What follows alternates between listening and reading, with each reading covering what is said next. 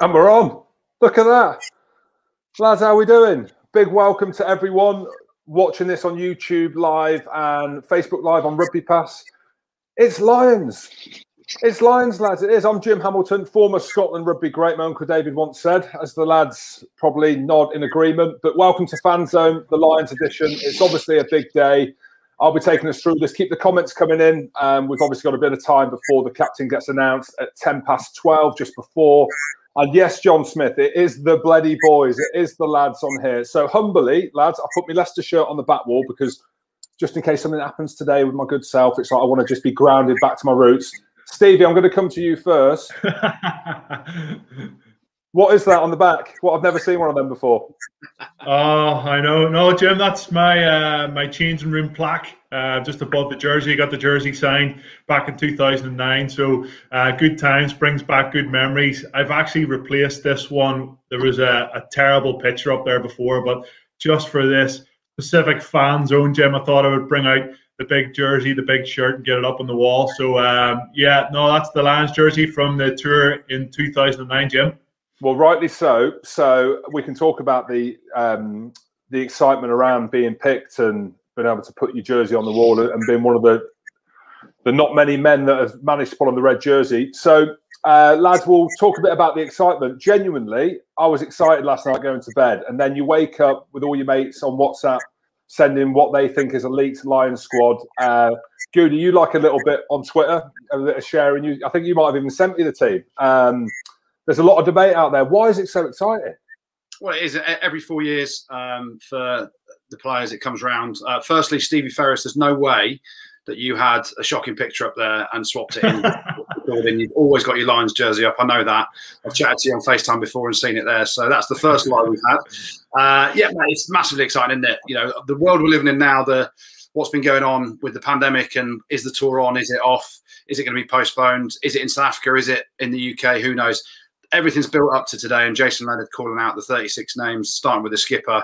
Everyone's got an opinion on it because we're all sat at home. We can't go to, well, we haven't been able to go to the pubs to chat about it. So, um, yeah, it's down to us experts to come out with what we think is is right for the Lions tour. But there's only one expert that counts, and that's Big Warren G. Well, I reckon is. that's a tough job for Jason Leonard to read out all those names without making a mistake. honestly, it's well, so simple. We'll see if Van der in there. Yeah, yeah, absolutely. Duhan Phantom. Uh, we'll, we'll, we'll, we'll, we'll see if he's on there, Shanks. But genuinely, there's a bit of excitement. I don't know why. I, mean, it comes around every four years. Um, as we've spoken about before, we've had a bit of a laugh. I've been in changing rooms where I was close to going. In 2017, there was no chance of going. He's like, really? Um, but there is a real excitement. Ha- uh, look, I'll come to you first, Shanks, because surprisingly, mm. you, you've been in this situation in 2005, and you tell me 2009 as well.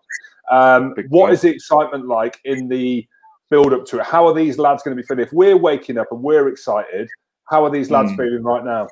Well, first of all, I went to bed last night and I was super angry because the teams went up and I just got abused, got completely abused because I don't think I had Hamish Watson in there. Um, it's like line of duty, you know, you can't criticize it, otherwise everyone jumps on your back. But it was 2005, right, was different because it wasn't announced like it like it is now on Sky Sports News. You know, we didn't really know exact time it was going to be announced. Um, it was we found out on the radio actually. Uh, Dan Barr, who was fitness coach, uh, was listening to the radio. We were just having food after training, between training, and he just came over then to myself, Martin Williams, and Gethin Jenkins with a massive cigar. Said, "Well done, boys. You've been selected." so thanks very much. Took me about an hour to finish it. Lungs were gone after that. But then in 09 was completely different, wasn't it, Stevie? I mean, no one knew. And people say, like, you must have known, you must have got England. Not a clue. You know, you hope you've done enough. Um, you think you've done enough. But until you read your name out on the screen, you've got absolutely no idea. I, I, watched it at home on Sky Sports News, and luckily the backs went first. Um, and your name comes out, and that's it. I couldn't tell you anyone else selected. You're literally just waiting for your name, um, and the relief after was incredible. And it's it's a brilliant way to do it. It's such a it's such a good way to do it for everyone. Um, but it's really nervous. You really are nervous. Yeah, Stevie, there's a really romance around it, isn't there? Around the Lions tour, and again, we've spoken about it. If I had a Lions jersey, I'd, I'd put it on any wall that I was in. I'd move it around any room that I was in in the house because it is such a special club to be a part of. I mean, you'll get some of the lads obviously being announced today that are shoe-ins, like Maro Itoje um, being one of them. Obviously, Alun Wyn Jones we know is a shoe-in. Just just to name two. Were you a shoe-in in 2009, or was it a kind of uh, sit and wait? Were you, were you as nervous as some of these lads might be now?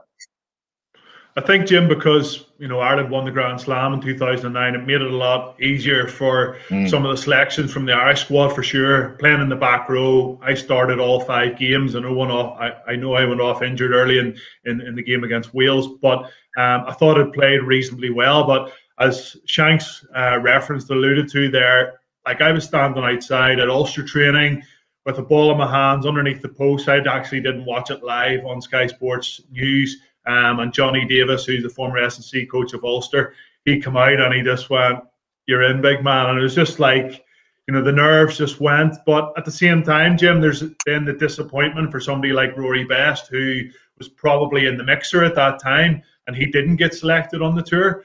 So yeah, it was uh, for me personally, it was a massive high, and um, you know, Shanks will be able to back me up on this we're excited talking about it. Jim, you're massively excited talking about it, Goody. But when you actually play for the Lions and are part of that squad, you really know how special it is. And um, you know, looking back in 2009, it was the career highlight. It was the pinnacle of rugby, not representing only yourself, your family, your friends, um, your province, your club your country, but the whole British and Irish Isles and every player that's went before you wearing that famous red jersey. So, you know, there's so much excitement, so much build up for this this afternoon, Jim, and I certainly cannot wait for it. Goody. So there's loads of interaction coming through. Now, Andrew, we've spoken about this many times. Could have, should have, would have. I think you were back in 2005 where you played against Sale. Well, you tell the story. It's important pointless me to because if I tell the story, it's probably very different to how you'll tell the story. So, how close were you to going? Well, 2005, uh, the uh, disastrous tour that Tom Shanklin went on with Sir Clive Woodward, where there were two teams, one in the North Island, one in the South Island of New Zealand. Um, no, lost that. narrow, narrow. Yeah, I mean, we. I was at I was at Leicester at the time. Uh, obviously, played for England in the Six Nations, uh, mainly because there were about 14 other fly halves that were injured at the time. Um, but I remember we played Sale on the Saturday, uh, and we absolutely dominated them, beat them by 40 points. Um, I'd scored a, a, try, loads of kicks, played really well. And Jordan Murphy, who was one of my best mates, came up to me after the game. Literally, we got back in the changing room, and it was the week. So it was the weekend before the, the Lions scored on a Monday. And there were line selectors at the game, and Jordan came up to me and he's like, we all knew the selectors were there. So you're on a high, you're thinking, I couldn't have done any more. Um, Jordan's come in after the, after the game and said to me, Goody, I think you've just played yourself onto the plane to New Zealand. And I was like, He goes, Yeah, mate, you honestly, you had a storm got man of the match, all this stuff. And then I've convinced myself over the weekend that I've got a chance. And as Shank said, it was announced over the radio. That was the only way it was done back then. I've got in my car and gone for a drive, and I've got it on the radio, listened to it, and it goes in alphabetical order.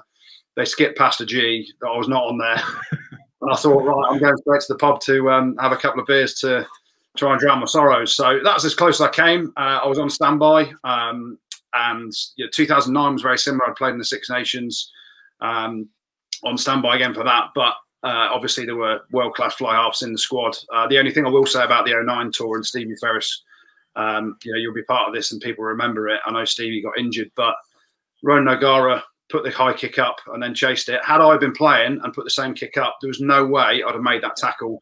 too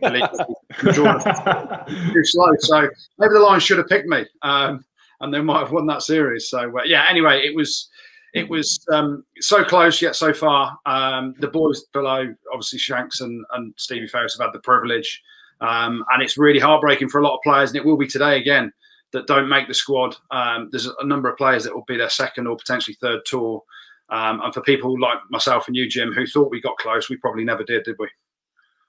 Well, I don't know. I, I, mean, one of the lads just popped up on screen there with a message saying they should take me for the banter. I agree. Anyway, anyway, I mean, this is my last chance saloon, right? Because I'm still in my 30s, so I'm 37. Next time, four years time, I'll be in my 40s, so it would be long gone. Stevie. There's a lot of talk right around the Six Nations and forming the Six Nations, and this is where we can maybe talk about our bolters, and we'll talk about this man uh, Sam Simmonds. There was a really good uh, interview done with him, and we'll show the video, and then we can maybe talk about uh, what kind of chance Sam Simmonds has got. So if we play the video of Sam Simmonds and what was said in the press conference, and then we can piggyback that. I was very surprised because Warren Gatland never spoke to me at any point. Have you had any conversations with Warren this season? Has he got in contact with you just to, to let you know you've been on you've been on his radar? In, in the past, um, early, early uh, in the year, um, we, we literally had a brief chat just to just to mention that um, just because I wasn't playing in the Six Nations, um, not to worry about that. Uh, keep playing well for for club. Um, keep my form up, and uh, this was actually before the the tour to South Africa was confirmed. Um, he said, you know, if you keep doing what you're doing, um, then if there's a tour in the summer, then we'll see what happens. So it was quite nice to to get that reassurance, even if nothing comes from it. At least I know that um, you know I'm performing well, and even though I'm not um, playing international rugby, I'm kind of getting the same chance as other boys that are. Did you receive that letter? It sounds like sounds like you did. Yeah, I went uh, out to quite a few quite a few boys. Um, I'm not I'm not actually sure how many people got it, but um, just be it saying you are being considered um, for the tour, whether you're in or you're not. So I think it is it is literally speaking to other boys, Cuffy, Nosey is literally on the day that it comes out on like Sky News or something like that. That is when you find out. Um, so it's quite cool. I guess it's quite cool that way. Stevie, fair play to the journo for pushing him on that. And, you know, let's not forget Sam Simmonds didn't play in the Six Nations. Eddie Jones is not a fan of his at all. Obviously, European Player of the Year last year. I've, I've heard all three of us talk about him as a, as a, firstly, as a man in the back row, all three of you have picked Sam Simmonds as a bolter. Mm. I haven't because I'm a belter, but he's obviously got he's got he's got a ch- he's got a chance of going right. And if you if you know that you start to hear whispers, but Stevie, I'll come to you. He didn't play in the Six Nations. So how can the coaches look at Sam Simmonds as a potential option? I know Billy Vunipola has not played well. Caelan Doris as well, who's my old Doris, an unbelievable player who's now, um, well, he, he, looks to be back fit soon. But what do you make of Sam Simmonds as you picked him as one of your bolters? Yeah, well, well first of all, what a what a brilliant athlete he is. Um, so explosive, powerful, you know, rapid, uh, reads the game very well, dominant on both sides of the ball, ball in hand and in defence. He's very good over the ball as well. Um, you know, as, as a number eight, he's been fairly durable for for, for, for Exeter. He's playing consistently well, and that's why I think he's got a chance. Now, Goody has been banging the Sam Simmonds drum for the last 18 months, two years, and I'm not sure if because he's not getting selected for England that there's even more hype that builds up. I think if he was playing for England and he was playing just okay, I'm not sure there'd be the same amount of people banging this, banging this, the, the Sam Simmonds drum to get him onto the Lions tour. And it's a wee bit like John Cooney, Jim, isn't it? You know, there's been more and more said about him because he isn't playing international rugby. But personally, I feel like he deserves to go. He's been probably one of the standout number eights. I would have him on my side. More athletes, the better. As South Africa showed in the 2019 Rugby World Cup, they're littered with athletes, big men, explosive, powerful guys, and Sam Simmonds brings that in buckets full. Shanks, let's have a look at some of your selections then. And again, these selections have been going on up and down the country, across in Ireland as well. Obviously, with what players everyone thinks should go. There are the mm. obvious ones in there. Now, Wales have come good at the right time.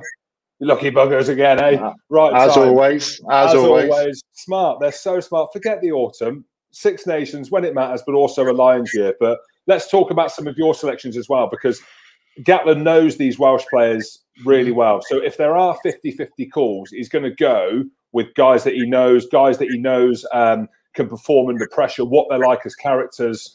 And arguably, you can say lads will miss out on 50 50 calls because Gats doesn't know them. I know there's a Scotland contingent in the coaching staff now, but let's just yeah. pick out some of your picks that some of the headline ones out with um, the obvious. Okay. Um, well, they could have gone. I, I don't know what he's going to do scrum half. I don't know whether he's going to go Ali Price or whether he's going to go maybe two Welsh scrum halves. Who knows? Um, I mean, again, Sam Simmonds is. I think he should go. I think his form has been that good. I think you're right, Stephen. The hype that has built up around him not playing for England has only increased his chances. But he's had one hell of a season. I just think if he goes, then they're going to have to look at the back row. You know, f- for me, you couldn't play Sam Simmonds, say Josh Navidi, and maybe Tipuric or someone like that. I think you know if he if he plays, you're going to need big sixes and proper bruisers in that back row because he's a little bit different. He's he doesn't weigh much, does he? You know, he's not like a Vermeulen. He's very powerful, but you're going to need some size in there as well. Um, van der Merwe, I think, has got a shout purely because of size. You lose George North, who's a big bloke. I don't think everyone can be the same size along the back line. You're going to need players that can carry into heavy traffic, and to do that, I think you have to have a fair bit of weight behind you, and he's he's got it. Um, there's so many, there's so many ifs, so many buts. You know, I've not picked Johnny Sexton. I've gone down bigger, Finn Russell, and Owen Farrell that covers 12 and 10. I think with Sexton, great player, but he does get injured a lot. And there's one thing you need on a tour is durability. I think with the other three, you've got that. Um, I think I don't think you can call Lewis Rees-Zammit a bolter anymore, can we, guys? I think he's pretty much a definite with his form. Um, who else? Rick? CJ Stander. Well, the back row is an interesting one, isn't it? Because yeah. you know, yeah. CJ Stander. There's talk of Hamish Watson, Sam Simmonds. You know, we're going to take Billy Van Vunipola out of that, and a few people kind of agree that potentially he might not be in. But um, Goody, we'll come on. Maybe you can chat a little bit about the back row before we kind of talk about the tens. We've got about six minutes until the captain gets announced. But when you look up at the makeup of the back row, notoriously you think you've got to go. And Stevie Ferris is well placed to answer this, but Goody, you'll know having faced back rows running down your channel. When you look up at the makeup of the back row, you know, it was out there that I didn't pick Hamish Watson. Let's get this on record that I did pick Hamish Watson to go, but there's a lot of debate I do. around. You, you didn't, yeah, yeah. Well, well, can we mute Shanks? Um, Goody. So Billy Vunipola potentially talk of him missing out. Like, how do you see the makeup of this back row and how they're going to need to play against South Africa? I think the big thing playing South Africa, and everyone's mentioned it. Stevie Ferris mentioned it earlier. No better bloke to, to talk about back rowers. Um, you, you, need size, but you, you need power. Um, so we're looking across the the four countries. We haven't got. We're not blessed with massive back rowers, are we? At the minute, in the current crop of players, you could potentially play Tadhg Beirne at six which gives mm. you a line out option. But then when you're looking at power players, you look at someone like Tom Curry, who's not massive, but his meters after contact and his power in the tackle, both sides of the ball, is phenomenal. Sam Simmonds, exactly the same. Hamish Watson. I think the the whole argument around size now is a bit of a myth uh, because these sort of perceived shorter players in the back row, like the three I've just named, um, who aren't six foot three, six foot four, they're still monsters in terms of ball carries and, and meters made. Um, so it's a lot about the close quarter stuff. I put in Josh van der Flier in the back row as well. Been really impressed with him um, in terms of his work rate, both sides of the ball, his power. He, he's just relentless. Um, so you, you, need explosivity. You need a bit of X factor in some of the bolters. Sam Simmonds for me, I'm chairman, captain, call it what you will, of the Sam Simmonds bandwagon club, um, and I have been for a couple of years, mainly because Eddie Jones hasn't got a clue, not picking him. But um, yeah, I just think with Toby Faletau as an eight, there's a potential for CJ Stander in there as well because he's big, but he's coming to the end of his career. Is that a factor? Whereas you've got energetic players like Curry, Watson, uh, and Sam Simmonds who can be you know monster ball carriers without having the height to, to do it. So um, yeah, I mean, Stevie, you're, you're the man on this. This is your area of expertise. You tell me. Yeah, well, I think just on CJ Stander, Goody, um, you know, Warren Gatland isn't the type of coach to give somebody the swan song that they want. You know, go back to South Africa, you look at Brian O'Driscoll in the third test. Um, in Australia, he didn't select him. If Johnny Sexton's not selected here again, you know, everybody wants to see Johnny Sexton finish his career with an unbelievable Lions tour. I don't think that's going to potentially happen. Uh, but in terms of the back row, I probably disagree with you, Goody, when it comes to size. I think size absolutely does matter. Um, we all remember that photo going around before the 2019 Rugby World Cup with the South African team with their, with their tops off, and they're absolutely shredded, huge, huge men. And um, I, I said straight away, like, this is my tip for them to go on and win the Rugby World Cup. And again at the weekend, La Rochelle, huge, huge men. They beat Leinster out the gate in the second half. Leicester, bigger men than, than Ulster in the second half. beat them out the gate in the second half. So I, I totally agree with when it comes to power, um, when it comes to those meters made after contact. But uh, I definitely think there's a place for having huge, huge athletes in your squad as, as the last couple of weeks have shown. I agree Yeah, with that. What Yeah, I'm saying, course, is, I don't think yeah. we're we're blessed with it, are we? I don't think. Yeah, we true. can five or six massive back rowers. Yeah, you're looking at maybe playing a Maro Itoje out of position at six to get someone sizable in that back row. You look- look across the Six Nations teams, and to me, there's not a, a, a monster that's six foot three, four, five in the back row. We're all looking at. uh, what about similar- Billy Vunipola then, Goody? What about Billy? Is, is it worth get worth trying to get him fit for three or four games on the, on the tour? Like we all know, he is a huge, huge man, and and he does have that in his repertoire, but we just haven't seen it of late. Yeah, mate, he's definitely an option, but then his, his performances in the Six Nations weren't at the levels that other players were. So Hamish Watson um, and those boys were, were on top of him. Um, you know, against Ireland, again, you didn't see a lot of him, did you? Ball in hand going forward. So again, Warren Gatland's got to be careful. Picking on reputation, you can do it in a few spots. You know, there's the argument around James Ryan. There's the argument around Owen Farrell, not informed, but he's going to get picked on credit in the bank. Mm. Um, you know, there's a couple of other Lions players in that that have been on previous tours. Jamie George is one, got no form at all, but he's got a lot of credit in the bank from the 2017 tour to New Zealand. So, you know, you can't pick loads of players with credit in the bank without current form. And I think Billy just there's better options in the back row than picking Billy Vunipola right now. Right, lads, before we carry on talking about, and we can talk about it all day, I just want to put on record, I've got a feeling Jonny Gray will go, but we'll talk about this after the Lions announcement of the captain. I think we're all in agreement. Again, I'll put on record again. Apologies. I did about a year ago. I said Alun Wyn Jones shouldn't even go on the tour, and I'm sorry because there's a lot of talk about the announcement. So as this kind of unfolds, I'm, I'm double screening. Look at me, I'm so cool. This was amazing. Um, Shanks, we'll start with you. One line on captain. You've obviously picked it. Are you still with that, or have you changed your mind? And the reason why you're going to go with this guy?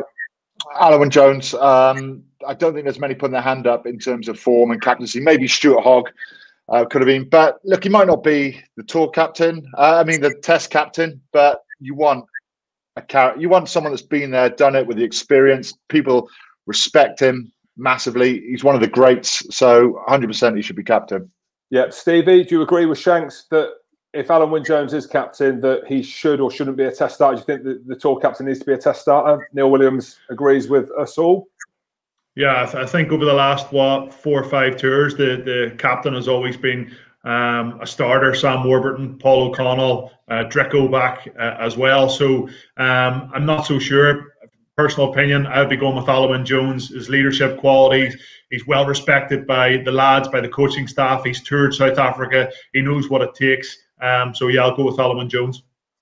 Cool. Goody, um, again, I've had to apologise to you many times about Alun Wyn Jones. Uh, do you see him as the the leader in the you know the Martin Johnson, the O'Connells, you know the O'Driscolls that we talk about, some of the greats to have played the game to win this tour down in South Africa with him at the helm and, and not a Maro Itoje. And again, we've spoken about Owen Farrell. I don't think he's got got got a chance at doing that now. But um, Alun Wyn Jones all day long.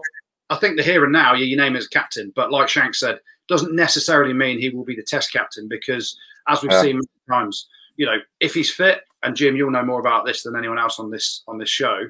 Second rows, the pairing of the second row for the test matches when it gets there, it doesn't just mean you name Alun Wyn Jones captain now. He's going to be starting in the test match because there's so much rugby to go on between now and then. You've got other options come test time. I'm sure Stuart Hogg will start fullback in a test. He's captain in Scotland exceptionally well. Owen Farrell, as much as people berate him, you know, if it gets to a point where Alun Jones has got an injury, you could make him captain for a test match if he's playing at 12. You could make Maro Itoje captain further down the line. But for the here and now, I think you name Alun Jones as tour captain. Leadership credentials are second to none. Um, he's, you know, the video of him dancing in Ibiza, putting his fingers in his mouth, that makes me, in a bubble, get him doing that every day and it'll He's got it in him, mate. He's got it in him. Away from the cameras, or maybe not so much in this case. He's got it in him. Yeah. So loves it. Shanks, well, that's the thing, Shane. So that's what I want to talk about uh, as we await the announcement. Because being a Lions captain, it's more than being a captain on the field. You look at what South Africa have done with Siya Kolisi, and we think that that's going to be the narrative going forward to them. You know, unite a nation.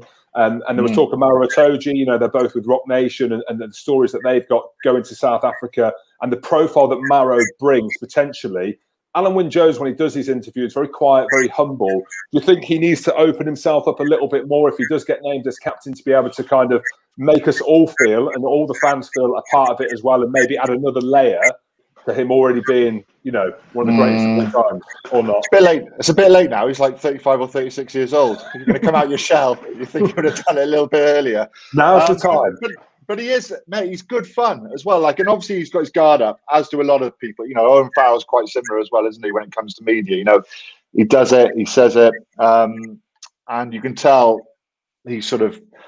He's not really being himself, I don't think. He's not letting it, giving too much away, but away from the cameras, mate, he's a great bloke. You know, he loves going out, he loves the drink, he loves the social as much as anyone. But you know, since he's become captain and since he's become this cult figure and this great leader that he is, you know, I think it's that's his job. Um, he leads from the front. Honestly, a few people have mentioned this recently. You know, he's that good in training and he's that intense. You don't want to get partnered with him for one, but you'll never ever beat him from drill to drill. He runs, he sprints. so, so you're doing like a, ha- a handling drill. He's pegging it straight across. Yeah, yeah. yeah. But but he but he he's not like you, Jim. He doesn't need to impress. He, you know, he oh, just does it naturally. Well, one thing he does need to do, Steve, you can maybe talk about this, is a level of acceptance. And if he is announced as captain in the next couple of minutes, um, do you think he'll have a shaved head or do you think he's going to carry on holding on? Andrew, I don't think he's had time to get it knitted, but uh, obviously, Steve, you might be well placed. you've got to look decent as well. And you look great. I love that hoodie that you've got on, by the way. Look at you. You're right on brand. I tell you what, Jim, this is a comfortable hoodie. Thanks very much to Rugby Pass for sending me a little bit of merchandise in the post. Picked it up yesterday, so very good. Yeah, I think Wyn Jones, if he gets uh, wins the tour, wins the Test series, there'll be um, hair transplant companies all over the world willing to give him a free one, Jim. So he'll be trying his level best to make sure and get a test, a couple of test victories. But yeah, He's uh, he's a great guy, great character. He was actually my first roommate when I went over to Pennyhill Park in 2009. Opened the room. There's Alun Wyn Jones standing there, huge man. Um, obviously back with the Ospreys then. Played against him a couple of times. Uh, absolute gentleman. Anything we, the relationship that we ended up having was was brilliant. We became friends. Um, he helped me out. I helped him out. And uh, yeah, it's great to see how far he's come over the past well, over a decade now, and he's still trucking on. And um, I bet against them, Jim, and back in 2017, and I learned the lesson back then, 2017, um, that the, the not back against Alun Wyn Jones, and I think he's just going to keep on trucking. He's uh, he's like a fine wine, isn't he? Yeah, well, I uh, again, I don't want to talk too much about that. I feel embarrassed that I even mentioned his name in that vein. Stevie, how do you think Johnny Sexton's feeling right now? I mean, there's obviously a lot of talk. Goody's mentioned it, some of his injury issues. What are they saying in Ireland? You know, one, are they thinking he should go, or you know, secondly, what are they thinking about? Um, you know his credentials as the leadership and the captain. It's either all in or not. It seems with Johnny Sexton that they're looking for. Yeah, definitely, Jim. Uh, Joe McNamara put in a, a, a, tweet just replying to the fans fan zone here saying Sexton captain. Like I don't think he is captain. Uh, I was chatting to Ronan O'Gara there last night, and he was saying about uh, you know his rapport and relationship with referees, how he kind of comes across. I think that's going to be very important. Again, that's why I'll be pointing towards Wyn Jones of being captain. But just on Sexton and where he is, um, he's obviously injured. Went off against Exeter, field HIAs, didn't play against La Rochelle. He's not playing this week against Connacht in the Pro 14. Like if they're going to bring him on tour, the whole every single press conference that Warren Gatland walks into is going to be, "What about Johnny Sexton? Is Johnny Sexton mm. fit? What about that?" And and for me, that takes um, a lot of uh, the limelight and a lot of what probably Warren Gatland and the coaching staff want to talk about away from them. So it's it's a, it's a really interesting one. Again, Warren Gatland just you know he likes to take the pressure off the players himself.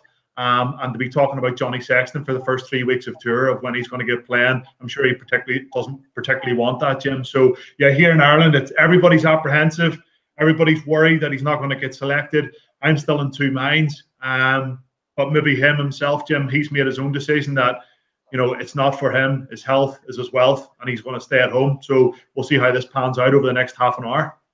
Yeah, I think we're close. We can see Gats, good friend of mine, my mentor, on screen now with Lee McKenzie chatting on Sky Sports, obviously about to announce the captain. Goody, when you look at this England team and, and the kind of success they had at the World Cup, do you think Gats is raging? Not raging. Do you think he, he's finding it quite difficult to see out of that group of players, which ones he can take with the leadership credentials coming through as well. Because Owen Farrell, you could arguably said would have been a shoe in as well before the tour and a front runner with him and Maro to be captain. But the way that kind of England played a few times, the way that they kind of conducted themselves as well, is there's talk, you know, in the background that it's going to be difficult for Gatland to pick these players that last year they would have been the backbone of the Lions squad. Yeah, it's all about timing, isn't it? And we've we've been through loads of conversations around the pandemic and move the tour or have the tour on, and you hear a lot of the players that are informed saying we want the tour to go ahead at, at this time because they know they've got more of an opportunity. We got we've got to stop harping on about 2019 and us getting to the World Cup final because if you go back actually to the semi-finals and, and when obviously Wales lost to South Africa and, and, England beat New Zealand, Warren Gatland said to Eddie Jones, um, you know, there was a bit of banter in, in the press conference, wasn't there, about you know you've just played your cup final by beating New Zealand. And then Eddie Jones comes back with enjoy the third or fourth place playoff. So um, at the time, you'd have had to have picked a load of the England boys because they were fantastic. But you've got to pick mm. on form. The majority of your squad, you have to pick on form. And looking back at the Six Nations, looking back at how England performed in numerous positions, Jonny May a couple of years ago was one of the best wingers in the world, and people aren't really mentioning him at the minute to be in the Lions picture. Um, everyone's talking about Louis Rees-Zammit, who two years ago was nowhere because he was a young kid, probably still doing his GCSEs. So um, it's all about timing. I don't think Warren Gatland has any issue not picking a, a bunch of England players um, because he's got to pick on form. Eddie Jones said back in November he wants at least 20 England players on this Lions tour. Can't see that happening. We'd be lucky to get 10 at the minute. Yeah, a good thing I think for this. Sorry, Jim. I was going to say is that the Lions will learn a lot from the World Cup final 2019, and this squad that's going to get selected will give us a massive inkling into how the Lions are going to play. You know, do they do they want to try and match them physically, or are they going to are they going to play like a wider, faster game? So it's really intriguing to see, and I think from selection in a couple of minutes we're going to get a proper idea of well, we're going to have an idea of actually how the Lions are going to play because typically with a Gatland team, it's set up pretty simple, isn't it? You know, it's it's game line, it's the same way, it's tiring defenses uh, and working defenses. So but I don't think you can do that against South Africa. I think you're going to have to play. You're going to have to play a bit. Yeah, and with that as well, Shank. So we, me and Goody spoke to Dan Biggar in the week. Uh, he's probably mm. been the form ten. Well, he hasn't probably. He has been the form ten. You look at the leadership in this Welsh squad to come good in the Six Nations, and we're, we're all talking about Alun Wyn Jones and the captaincy. You know that mm. man Dan Biggar. Is he much of a leader on the field? He looks like he is, um, but you know why is he not potentially being spoken about to be in a role like that? Is that just a step too far for him? I think it's always difficult. I think as a ten, you've got so much on your mind, and then to lead a team as well. He does it naturally anyway. He's always a talker, like every good, every ten is, because they're directing people around the field. I think temperament, though, with him might be a bit of an issue because he loves complaining. You know, he complains to the ref every single. A lot like Johnny Sexton. You know, part of you just thinks, "Why off doesn't?" Yeah, but part of you just thinks, "Just shut up, let the ref get on with it, and, and sort out yourself out." But with Dan, I think his time in Northampton has really benefited him because you know if there's one criticism of him previously, it's been that he hasn't really played much rugby in terms of really attacking the line and bringing his backs into it and bringing his centres into the ball. But now, you know, the, these last couple of years at Northampton, I think has been brilliant for him. And we're seeing a slightly different. He's evolving his game. You know, he's becoming more of a threat, ball in hand. He's bringing his backs into the game more as well. He's not necessarily playing as pragmatic as he used to. So, look, it's it's good to have him and someone like Finn Russell, like a yin and yang. I think that's well, what you need. Yeah, well, hopefully we'll hopefully. see that. Yeah, um, Stevie, um, a few lines on Gatland. Uh, he's obviously needs to lean on his coaches. Um, do you think he'll be picking players that are on form, or do you think he'll be picking players that he knows? Um, you know, obviously the talk of Sam Tippins. There's, there's talk of Danny Care as well potentially being picked, and there's these wild cards being thrown out there. Marcus Smith, the guys that are in form in the Premiership that are playing well. Uh, you know, John Cooney's name's been thrown around there as well. Like, how much do you think someone like Gatland is leaning on the coaches as a joint decision? Like, you, you look back at the '97, obviously Lions tour, the famous one in South Africa. You know, Martin Johnson was in selection for the for the Test team and who he should have picked. Gatland, that kind of guy, or is he going to make the sole decision himself, which you think will be a joint decision across the board? Uh, lads, just I know Shanks, you probably know him better than I do, but like Warren Gatland's a pretty cold-hearted type of guy. You know, he's um, savage. He's, he's, he's fairly ruthless. Um, and yes, he is. Two, yes, he is. Back back in 2009, I, I injured myself in training uh, the week before the first test, so I, I, was out of action. And I was sitting on the physio table. Tour was over. Um, Ian McGeechan come up to me, Stevie, really sorry about this injury. You know, devastated for you. All the coaching staff, you know, devastated.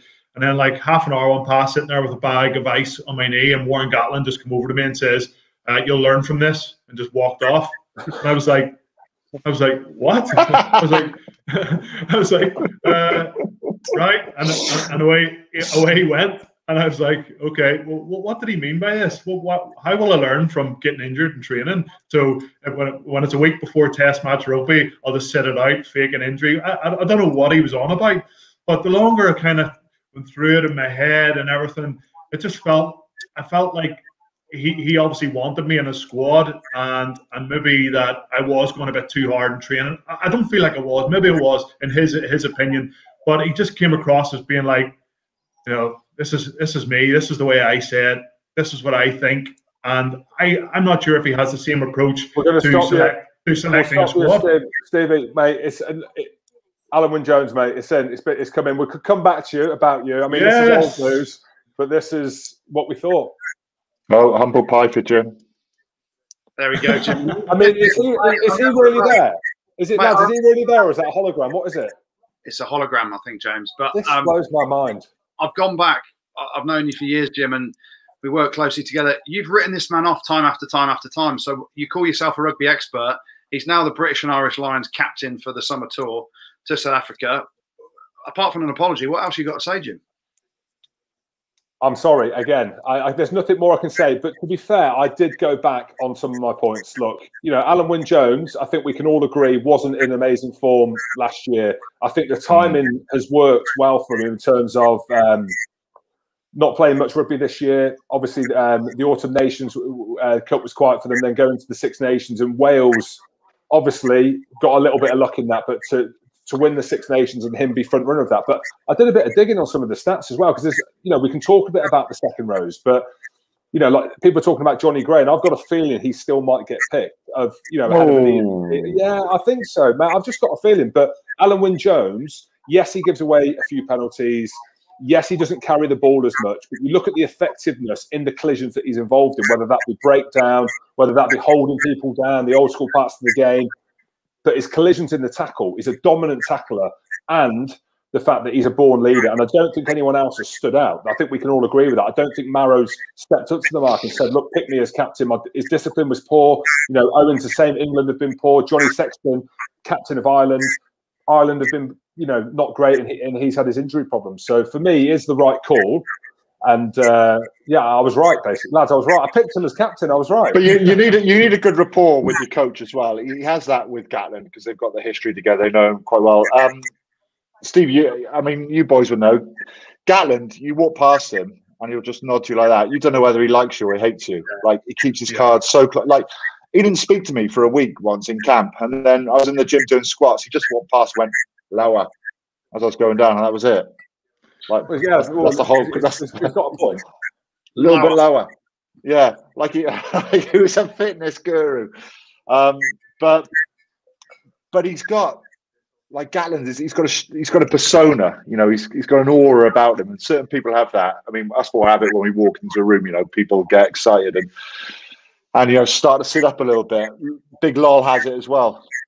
Um, Wyn Jones has it, and Gatland has it as well because he's he's quite quiet in in the way he, he approaches stuff. He's quite softly spoken, um, but then all of a sudden, he's gone, and uh, the mad dog in him comes out. So that's I think that's important, you know, to have you know like a, a captain that the coach really knows um, well, and they've got that rapport.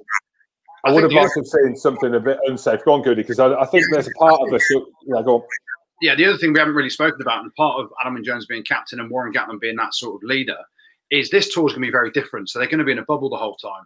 You know, they're going to be based up in Gauteng for the, first three games, I think it is, uh, just in a camp basically. There's going to be no real going out into the community, doing going to bars or whatever. You know, the real lines things that we we all love as fans and, and love watching back on the the living mm. with the Lions videos and stuff like that. It's going to be really intense in this bubble that they're in. So that I think they start off three weeks in Gauteng or for three games in Gauteng. Then they go down to Cape Town for another three weeks um, or three games, and then back up to Joburg for the last two tests. So it's going to be a, a, massive effort from everyone to entertain each other in the bubble. Um, and so Warren Gatland and Wyn Jones as captain. You name him as captain, great, but it doesn't mean he has to be captain of the test matches because it's going to be such a different tour to what we're used to. So, um, you know, characters are going to have to come out. You're going to have to have fun guys on the trip that can entertain everyone because, as we all know, when you're locked in a hotel for a period of time, I'm thinking room service. Other boys are thinking we need to get out and have fun, and you know they can't in the current pandemic, can they? Yeah, that's what Clive Woodward did in 05. Roomed everyone on their own. Honestly, it was the, it was so boring. You know, because England won the World Cup in 03, you know, because but England knew each other, didn't they? You know, they were they were a team that had been together for a long time. So they roomed they they had their own rooms because sleep was the biggest obstacle to recovery. But and um, and Clive Woodward did that in 2005. Honestly, it was the most boring thing ever. Like no social at all. Sounds crap. Uh, Goody, yeah. um, what we're hearing is is that he's, he's going to pick 37 as opposed to 36, which opens up the door to potentially someone else. Manu Tuilagi, his name's being thrown about mm. potentially. Where do you think that that's coming in? I mean, Rory Sutherland at Loosehead, and yeah.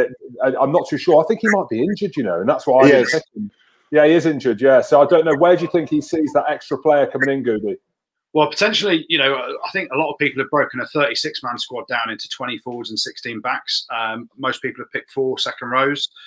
It does allow perhaps for a fifth second row and have Tadhg Beirne to be able to cover second row and back row, so it gives you that extra height. But a wild card, and is he a wild card, Manu Tuilagi? Yes, he is, because he's not played rugby for six months. Um, but my God, and Shanks will, will know more about playing a centre like him.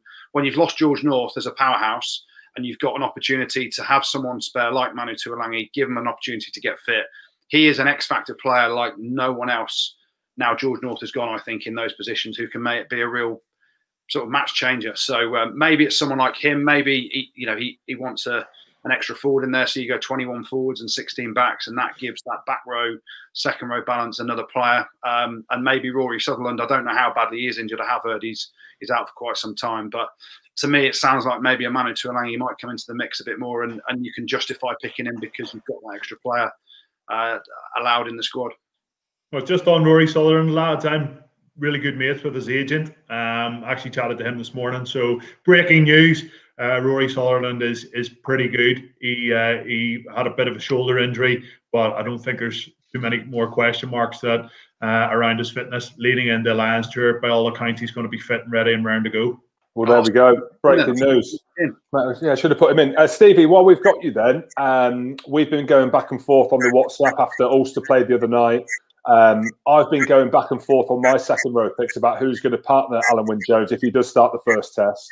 Um, obviously, Maro Itoje, a dead cert, but out of the island second rows, do you think James Ryan's got enough in the bank to be named Oh, geez, what what what's happened? Like to James Ryan, I, I know he's been struggling a bit. He, he got uh, knocked out, didn't he, in the in the first game of the Six Nations against Wales? He's sort of been in and out. Hasn't was it twenty odd games in a row he, he played without losing uh, when he first came onto the scene. Uh, captained Ireland under twenties, had massive success there.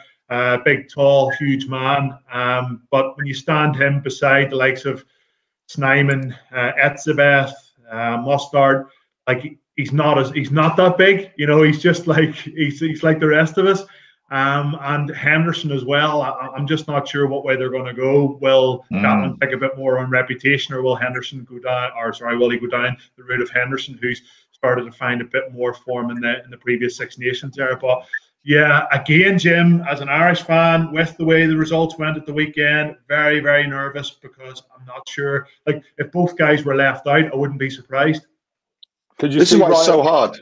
This, this is why it's so hard because through the Six Nations, no team has really, really stood out where you're thinking, right, that is going to be the absolute backbone of it. And we've seen it in well, previous Scotland ones. did. Scotland did. they finished fourth. You finished fourth, mate, which, yeah, is, which was a positive. Which was a positive. You're the player of the tournament finishing fourth. What? Happy, happy. Never happen. Should absolutely never happen. But no team has really properly stood out. And I think this is this is why it's such a big t- talking point. Is that there's probably only three or four players in that squad, which you could probably say absolutely are cemented on. You know, you bet um, your mortgage. I know you Goody, you don't have one, but we do. Um, on on them to uh, on them to be in. He wasn't either. He, he told me. Otherwise, otherwise, it's just so subjective. You know, it, who knows? Who knows? Well, that's the romance around it. Goody, let's talk about scrum halves. A lot of debate around that. Um, you know, we, we were chatting about Ali Price as well, weren't we? I'd love to see him go, but he did get charged down against England. He got ch- charged down by Ryan Beard as well. He might have an, an outside ch- ch- chance as well, Stevie. Who knows? But where do you see the scrum half situation going? Do you think he'd pick someone like Danny Kedge? Would he go someone like Ben Spencer? Do you think he'll just go with kind of what we know and uh, I mean, there's Ben Spencer on screen there. You could see him picking someone like Spenno because of the way that they want to play. But do you know more about scrum halves than me? Yeah, definitely. I think um, yeah, the one that's nailed on is Conor Murray uh, in terms of form and, and, and history with the mm. Lions. I think um, you know he's definitely going to go. But obviously, you then look at the two Welsh guys, Gareth Davies and, and Williams. Um, and, and, Williams played exceptionally well for, for Wales against England, didn't he, uh, in that game? Mm.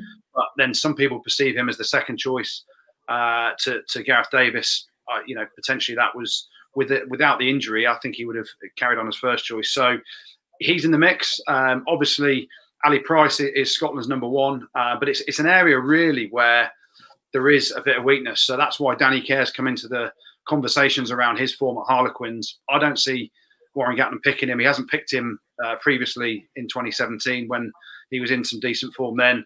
So I think you're going Conor Murray, Gareth Davies, and Ali Price. Uh, he likes his box kickers. Ben Spencer again, someone else that has got a great kicking game, but I don't think he's in that great a form to say I justify a Lions position and I'm not playing international rugby. Where someone like Sam Simmonds at number eight has got that form at, at, club level without having played international rugby. So for me, Conor Murray, Gareth Davies, and Ali Price were my three picks.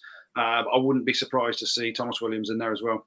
And then what about 10? I think we just saw a message from um, something Granger just popped up on screen about Marcus Smith. And then we've got another one from Lewis Birch around George Ford. Um, are you going to lay an egg if uh, George Ford gets picked? Do you think we could see an outlier in that 10 position? uh, mate, you've got four quality fly to pick from in Finn Russell, Dan Biggar, Owen Farrell, and Johnny Sexton. I get the Marcus Smith conversation around his form for Quins, but you've got Finn Russell, who's a magician who play can play that similar sort of role. You know, something different from your standard ten, who's a controlling ten, like a, a Biggar, like a Farrell, like a Sexton. So you've got a point of difference with Finn Russell. Do you need to go outside of that with Marcus Smith? I don't think so.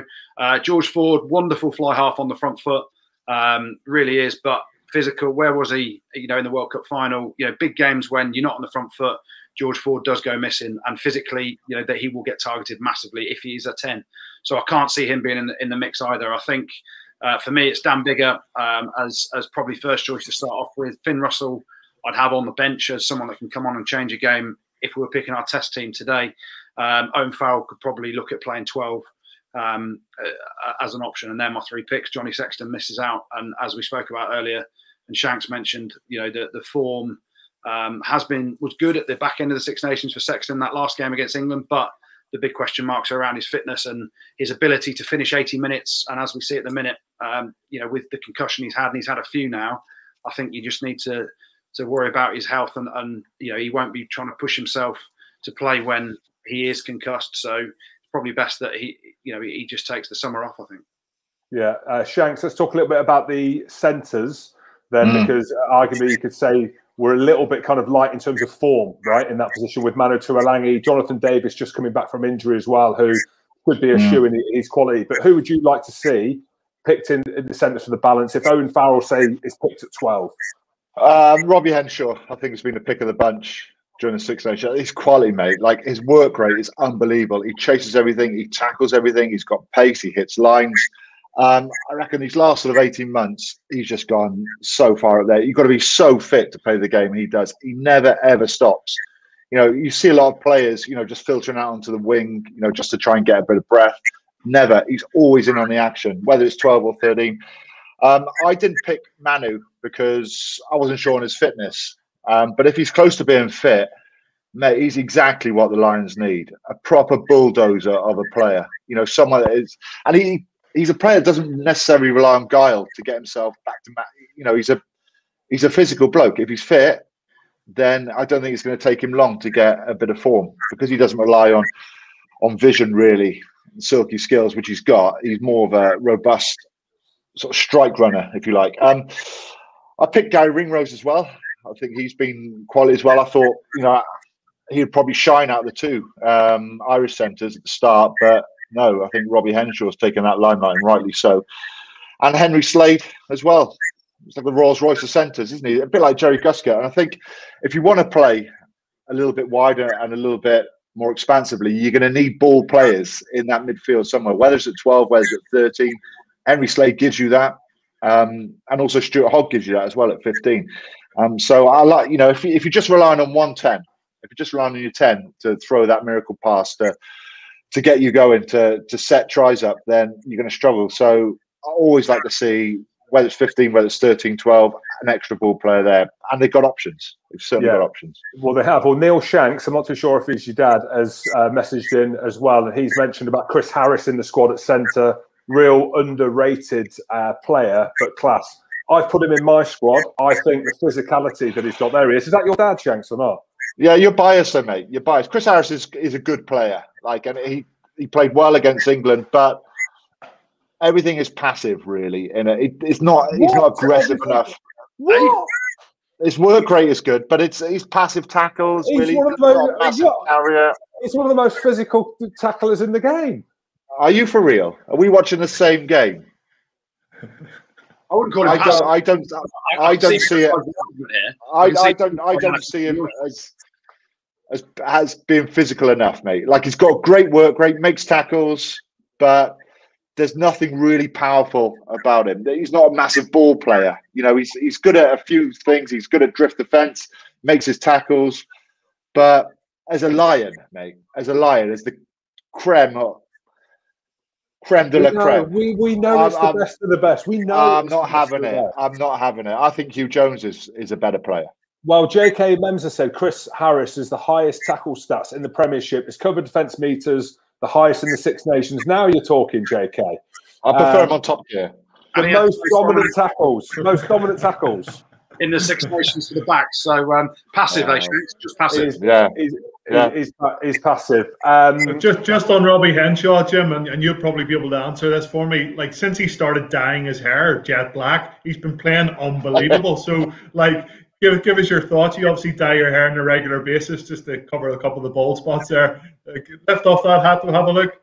Well, I shouldn't because I'm trying to. I'm trying to just. Goody, is, Goody has he had a bit of work done? Goody has he?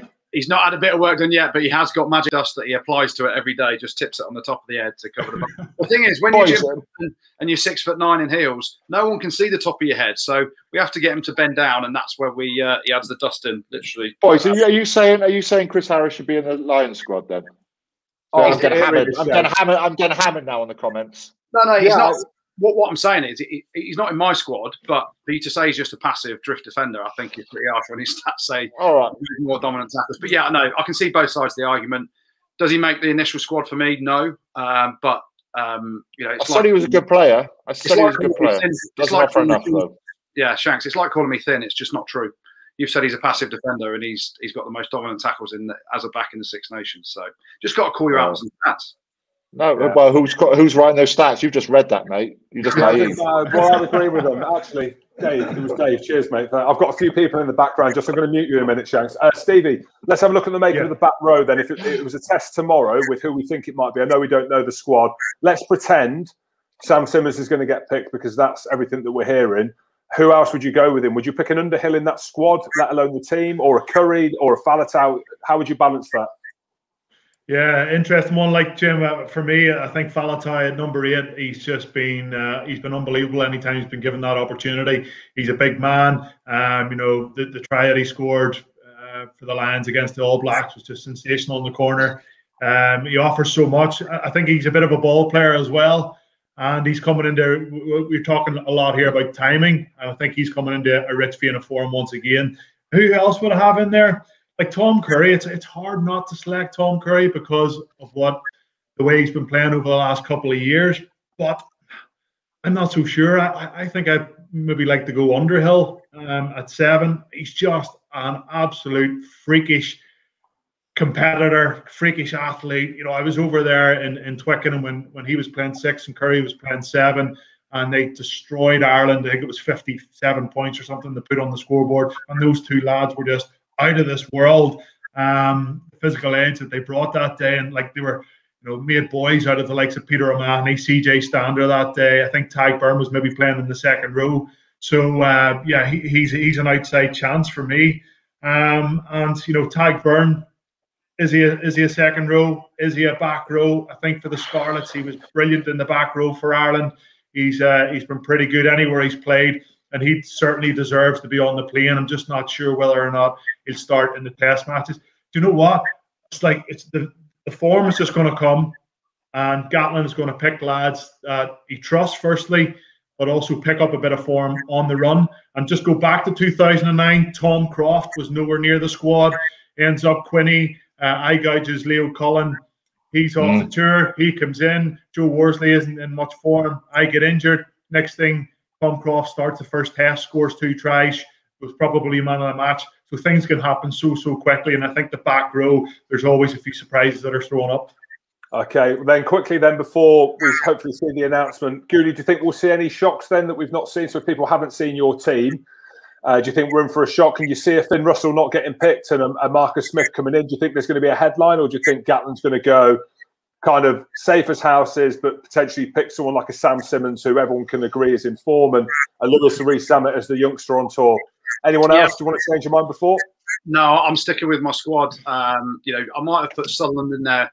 Uh, I thought he was injured worse than he was, but um, yeah, I think we're going to. I can't see anyone outside the box completely, but with Gats, you just never know, do you? Go on, what's up, Shanks? Have you got the squad there? Yes, coming through now. Here we go. I've got Do you mine want me now. to tell you? Do you want me to tell you? No, I've got Leonard now. Maybe it's buffering.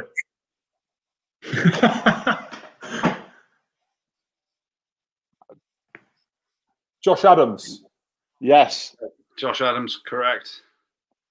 Rightly so. Bundee Aki. Oh, that's what, Bundee Aki. Dan Yeah, Biggar. Dan Yes, sir. Yeah. Elliot Daly. surprised. Very Very surprised. Utility. Gareth Davies at nine. Gareth Davies. Wait for the next one. Owen Owen Farrell. Farrell. Yeah. I I mean the next one. Chris Harris. Yes.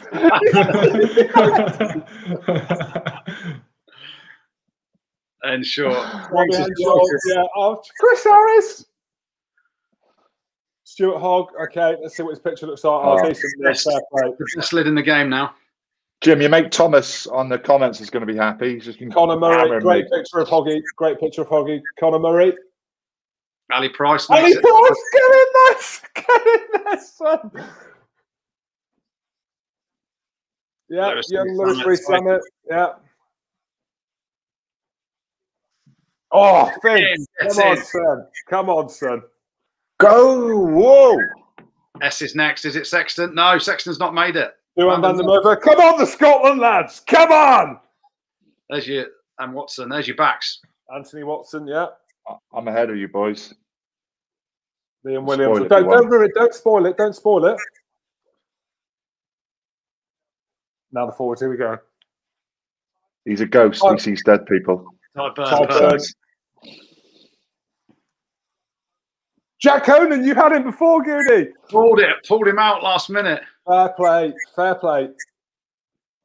Cowan-Dickie. Yeah, Luke Cowan-Dickie. Tom Curry. Oh, nice. I like that selection. Zander Fagerson. Yes, son. Whoa! Called it. Called it. Taulupe. Taulupe Faletau. Boys, there's some left field decisions. yeah, big Ty time. Furlong. Tadhg Furlong. Don't don't spoil it, lads. Oh, Jamie George in the mix. Jamie George. All right. Iain Henderson called it. He did. was James Ryan, maybe not. James Ryan, maybe not.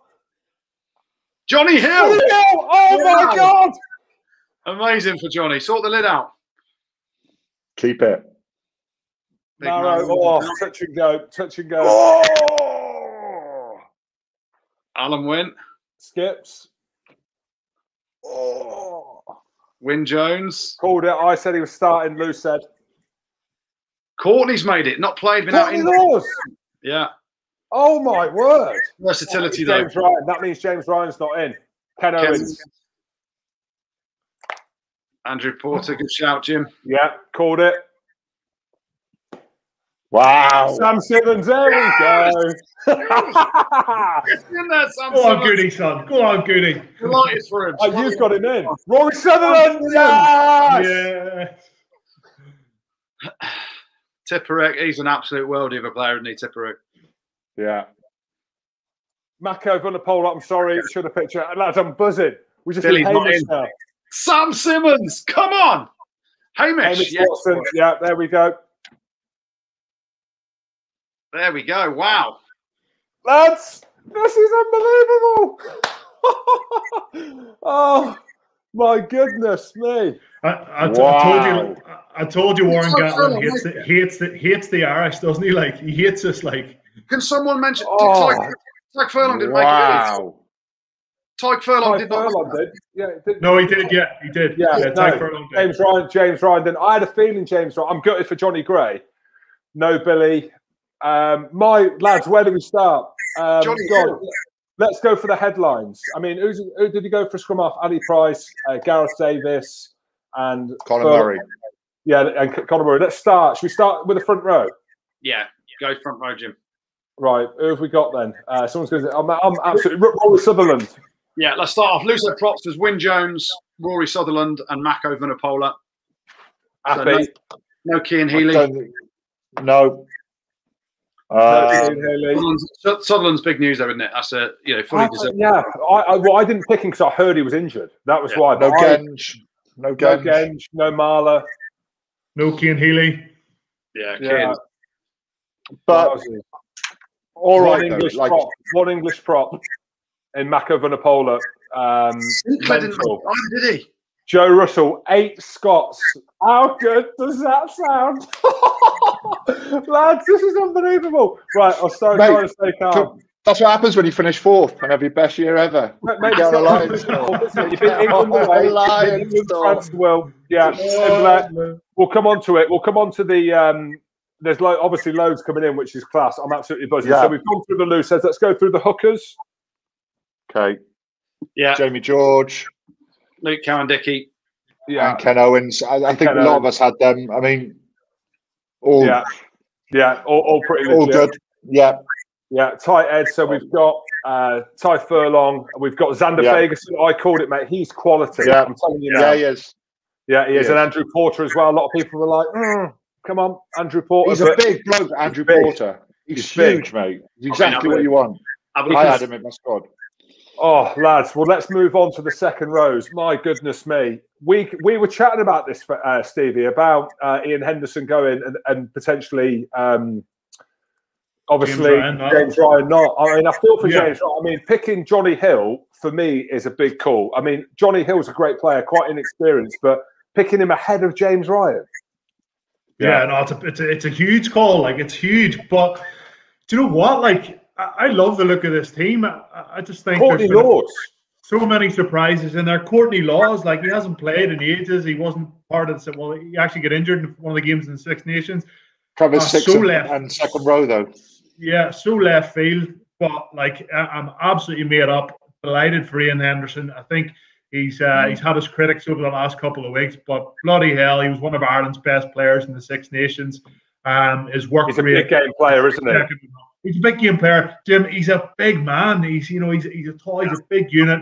He was there in 2017. He was one of the best players in the midweek side. He got man of the match against the Hurricanes when it was 33 all um, before the last test. He's been there. He's done it. He knows what it takes. So absolutely made up for him. Uh, but yeah, the second rows uh, and back rows, the second rows and number six.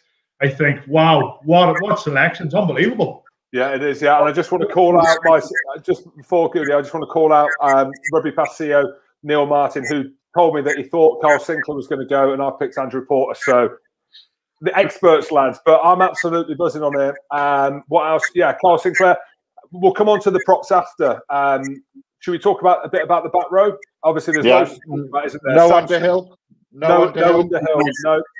Sam Simmonds, just leave it there. Absolute world class ball in hand player. Uh, Underhill, I, I just think his form since he's come back from injury hasn't been as electrifying as, as others. Uh, Navidi misses out as well, which is a shame. I thought he Courtney Lawes. Courtney Lawes. And Courtney Lawes, it's, the, it's the versatility though with Courtney Lawes. He can play six, he can play second row, and you know in a reduced squad, and we're still trying to work out. Yeah, 21 forwards he went with, and 16 backs. You need versatility. Uh, that's what Courtney Lawes gives you.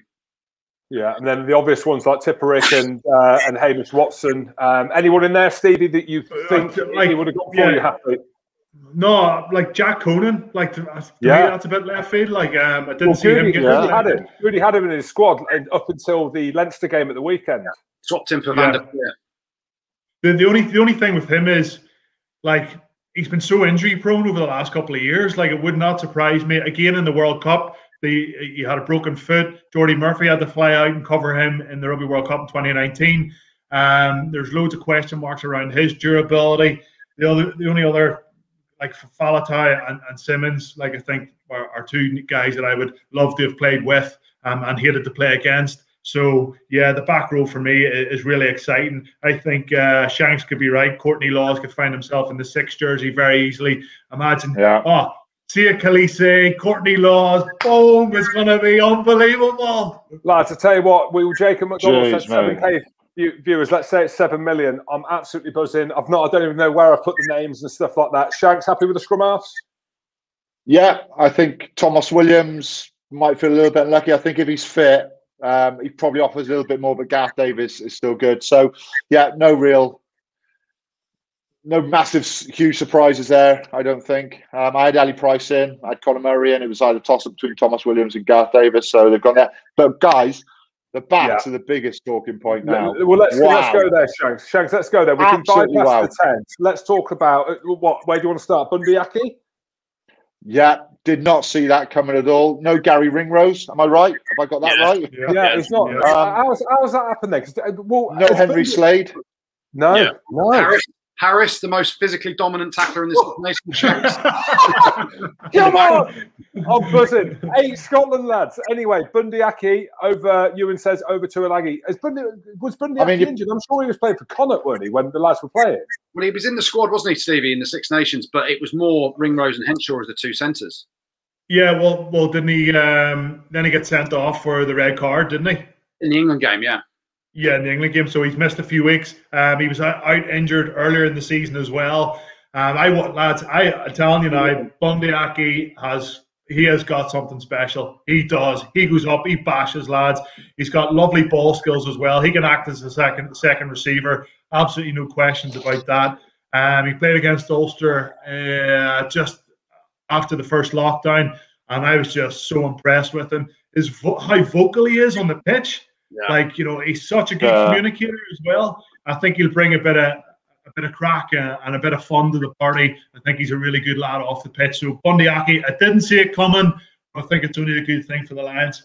Like I thought, um, it was going to be a toss up between Bundee Aki and Robbie Henshaw about who partners Guy Ringrose, which it was, and they went with uh, Henshaw, and it was a brilliant choice. But did not see Bundee Aki then being um, in Lions contention with the players we got. But he's similar to Manu in a way, isn't he? You know, the type of player he is and how physical he is. But no one was speaking about him at all, as no one really was speaking about Chris Harris, who's a good defender, but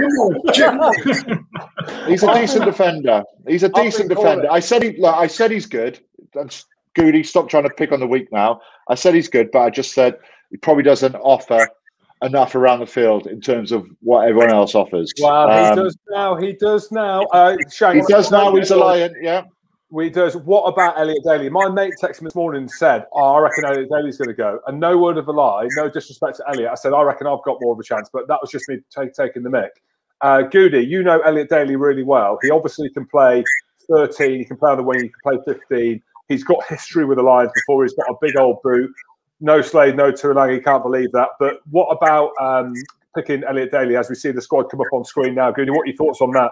Well, I'm chuffed for Elliot because he's a lovely bloke, as anyone that knows him. Um, and having played with him, he was he, he, he's a real energy giver to everyone. So if you're picking on form, let's be honest, Elliot Daly shouldn't be in the squad. But what this squad has shown, it's a reduced squad, so 37 names. He's only taken 16 backs. You do need some versatility in there.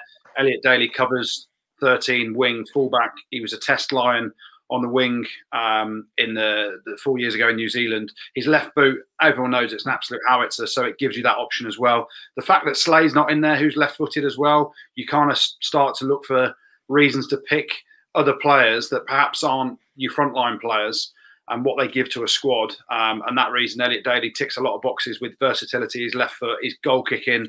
You go back to the Lions tour in 2017, the penalties that he banged over in the test matches from about 400 yards out were phenomenal. So that gives you something, especially when the test matches are going to play at altitude.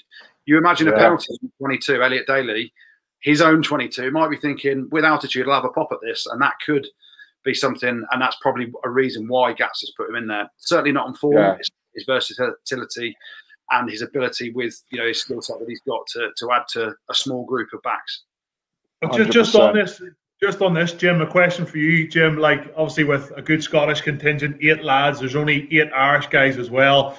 In my own opinion, there's a lot more of the Irish lads put their hand up selection for selection than the Scottish guys. How much of an impact has the coaching staff of the Lions tour had an impact on the selection. We talked about Gatland having the final say, but surely, surely some of the lads in the coaching staff now have had an influence on some of the decisions made. The you know, eight guys and only eight Irish.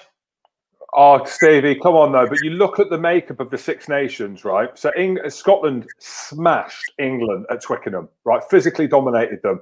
The next game against Wales, right? The next game against Wales, they could have won that game with 14 men. Obviously, Zander Fagerson got red carded. How good is it to see him in there? Um, to go away to France, I mean, they they blitzed Italy, obviously, but to go away to France and win how they did when France thought they were going to win by 21 points. Gatland wants players that can perform away from home. Now, not only did Scotland, when the pressure was on, perform away from home, like they were unbelievable. So I think you look at the backbone of what they're doing as a, as a team. Take take out Glasgow and Edinburgh, the international stage, and also the profile of the players. Rory Sutherland, not just this Six Nations, but the last couple of years, don't really see him for Edinburgh. For Scotland, he's unbelievable. Like he he, he rocks up every week. He's a, he's a dominant scrummager, and the same with Zander Fagerson. Zander Fagerson over ball is amazing. I'm gutted for Johnny Gray. Hamish Watson a given. Ali Price, we were talking about, but he's big. You know what I mean? He's big, and we were talking about his box kicks, but his kicking game around the breakdown, his speed of ball. I'm, I'm buzzing to see him. We spoke about Chris Harris as well, and obviously Hoggy's a given. So mm. I think you know, I think it's going to be interesting to see how it goes. Like it, it really is. But Josh I, Adams I, was a big call, I think. Um, I think he deserves his spot. He's a great work rate. Yeah, I, I, thought he might not get selected. I, you know, we all thought Louis Rees-Zamm was good. I think Van der Merwe is a really good selection. I really like him. Um, yeah. Just offers something different. He's so powerful. He's so fast as well, and you can use him out wide, or you can use him in a tight offset piece for, for a bit of gain line. Exactly what um, you need, I think. You need balance with size in your back line. Um, Liam Williams uh, covers wing and 15. Yeah, well, Liam Williams is obviously a, he's a top class player. Like he's a test starter. Stevie, not the greatest form at the moment. Yeah, I know. Yeah, Stevie, just um, we'll, we'll, give a few lines on Johnny Sexton. Obviously, we're, we're excited. There was talk of Finn Russell. I mean, I threw it out there that it could potentially not have gone his way. Um, you know, right call then on, on Johnny Sexton not going. Do you think Gatland's got that call right? Yeah, well, my squad, GMA didn't have Johnny Sexton involved. I think, um, yeah, I think if he had played the last couple of weeks for Leinster, then he definitely would have been on the plane. But you know the physicality that there's going to be over in South Africa, not just in the test matches, like you know in these warm up games um, against some of the provinces and teams out there, it's going to be carnage. It's going to be you know so so physical. And I, I, honestly think if he played in the first test, he started the first test match for the British and Irish Lions, that you wouldn't see him for the other two test matches. That's my own honest opinion. So yeah, I think Warren Gatland and the rest of the coaching staff have, have got this one right. Who knows, Jim? News might break in the next couple of hours. Johnny Sexton does an interview with Rugby Pass and says, I pulled myself out of this. I wasn't happy. You know, my head hasn't cleared up. I've got to look after myself. My health is wealth, everything else. Um, that might come out. But in a rugby decision, I think it's the right one. Well, let's just say so. Joe Marler obviously got left out of the squad. He didn't get um, a mention, but here's his tweet now: "Line of duty finale vibe," which I get the case he's not too impressed. um, I've saved Line of Duty to watch. I'm not bothered about that. All I'm bothered about now is the Fan Zone and the Lions edition. But what do you means when he's saying that, Goody? You, you, you like a good tweet. Yeah, mate. Well, the Line of Duty finale last week, or Sunday night, wasn't it? Was pretty upsetting. Uh, pretty underwhelming kind of thing. Not upsetting, underwhelming was the word I was after. Um, so what Joe Marler's saying is that line selection is underwhelming. Basically, what he means is he's he's not been picked, so his toys have come out of the pram and he's got on Twitter um, and uh, and come out with that line. So listen, you saw our reaction to that squad. We were amazed. Shanks is devastated. Yeah. Made it. We're all chuffed to bits that Sam Simmons has made it.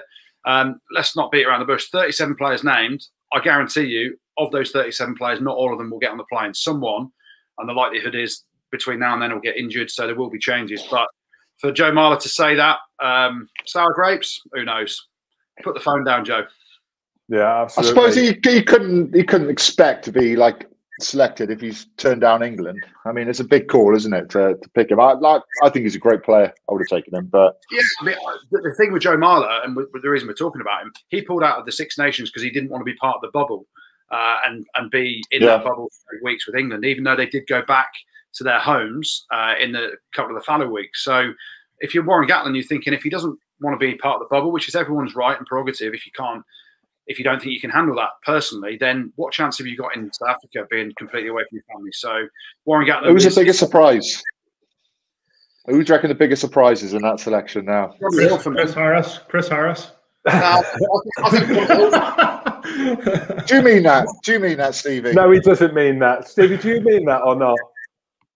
Uh, Luke Fitzgerald I- does. So, yeah, Luke don't Fitzgerald's know, baffling But, calls. but uh, like anybody who watches him a lot says how good a player he is. I don't watch him as much as other people do, so I don't know as much about him. I would be going on a different bandwagon like Garry Ringrose because I watch him every single week. So uh, you know, Jim, you obviously seen a lot more of him than I have. Oh. If you're, Well, sat on the fence there, mate. I well, um, he, he deserves his chance. He deserves his chance. He, he'll be a good midweeker, won't he, Shanks? Shanks Yeah, you need, you need them. You need them. what he's saying is he listens to other people and their opinions count more than yours does to him. Oh, That's yeah, that's that's my take on it. just Goody, get your passport photo done and get off. uh, uh, lads, just before we go, because um, we're, we're running over time, we could obviously chat on here uh, for ages. It, has been brilliant. I've absolutely loved it. Um, Goody, what what's your headline from this then? What are you taking away where you're like, wow? Uh, well, delighted for Sam Simmonds. I think he deserves it. Um, the two probably left field ones for me were Courtney Lawes, just purely because of injury, and perhaps Jonny Hill. You know, some some big players have missed out. Um, you know, we mentioned James Ryan, obviously no Johnny Sexton. Uh, but for me, Jack Conan coming in as well. Uh, I'm devastated with myself that I took him out after Leinster's performance at the weekend of my squad. But it's exciting, isn't it? We know the squad now. Um, we know there's a lot more waters to go under the bridge between now and the first game in South Africa. But it's a squad with you know players with power, with difference. Um, uh, can we handle the South Africans' power? Well, we'll find out because they've not played any rugby as a team since the 2019 World Cup final. So they're uh, you know as unprepared as we are. Um, you know, Gats. It's exciting now to build up to the squad. Um, the right captain's been made. Um, some decent selections in terms of uh, players that are a little bit left field. Um, but you know, Gats is the man. He knows how to win Lions series, and this is what he sees fit to, to take on the South Africans. And let's get behind it and, and look forward to an amazing tour, hopefully. Yeah, Stevie, happy, sad. Um, have we got an opportunity to beat South Africa down there with this squad? Yeah, we got an opportunity. I think just with the, the, the selection, the likes of Zander Fagerson, he's a big, big, big man. You know, him getting ahead of Kyle Sinclair, Jonny Hill ahead of Ryan, uh, Bundee Aki coming in again. Just that, you know, he, he can be very one-dimensional when he wants to be, and he, he can take that uh, that fight to South Africa. So yeah, like as Goody mentioned there, I think it's just now the squad's been announced. Let's get behind them. Let's everybody rally behind these lads. They're going to need every single bit of support that they can get to go out to South Africa, where I've been and and, and felt how difficult it is out there to grind out wins. And uh, this whole let's hope that you know the, the four nations can come together and um, really get behind the lads. And we wish them all the very very best. And congratulations to all the guys who have been selected. You're now part of um, a historic team, and uh, you know wish them all the very best, Jim. No, quite amazing. Um, Shanks, final word on Mm. you then. No, Jonathan Davies. Obviously, uh, Chris Yeah. Harris has been a picture, hasn't he?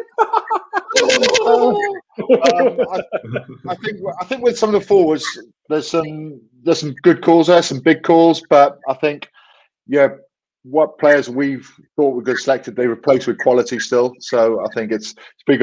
Some of the backs though did shock me. Not saying you know just because we didn't expect it because the form hasn't been great. Um, so there was a couple of left fields out there that none of us really guessed, but Stevie's right now. It's done now. Um, there'll be some disappointed people out there, and rightly so. People that probably deserve to go and felt they deserve to go and be playing it in um, some good rugby. But mate, it's so exciting that they've got this on now. Um, you know, Jonathan it's going to be hard to. Shanks from your yeah. Jonathan Davies is a surprise for me, actually. You know, now you uh, a bit.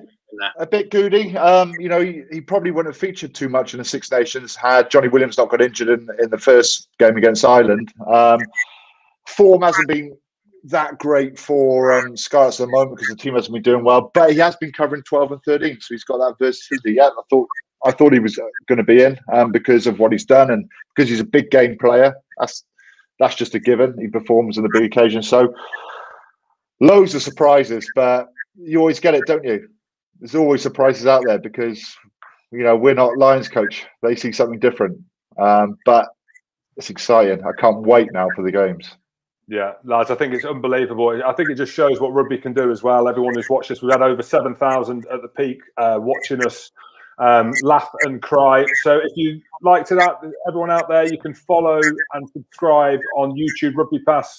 Give us a subscribe. You'll see. I'm going to be biased, obviously. Uh, GT, great show. Chaps, he's going to be biased as well. But just before you go, we'll be showing the Aotearoa Super Rugby competition uh, at the weekend. So you will see the end slate on here. We'll show you how to get involved and subscribe to that. But thank, big thanks every, big thanks to everyone.